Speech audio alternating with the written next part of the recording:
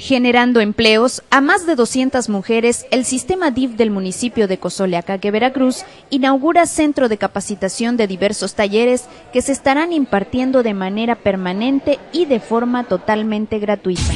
Bueno, pues el día de hoy estamos aquí eh, en la inauguración de estos talleres para la capacitación de, para el trabajo, que bueno, se encuentran en esta plaza de la fidelidad que también alberga las oficinas del DIF y bueno, estamos pues muy contentos compartiendo este día con las mujeres, con las maestras y las alumnas que el día de hoy pues nos acompañaron y que es para ellas este, este gran esfuerzo que hicimos. Todos los productos que se estarán elaborando en cada uno de los talleres beneficiará la economía de las familias de este municipio. Bueno, de hecho yo estoy en el segundo nivel, hemos este, hecho muchos, muchas este, diversos platillos, postres, gelatinas y me, honestamente están muy bien. La mesa está muy capacitada y capaz para dárnoslos y estoy muy feliz en este curso de cocina y repostería.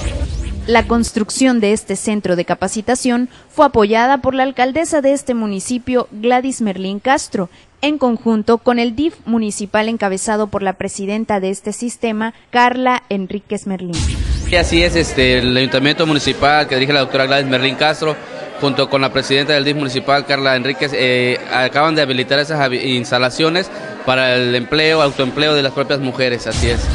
Cozoleacaque, Veracruz, con las mujeres, crece y late con fuerza. Para TVS Noticias, tvsureste.com, Janine Garduza.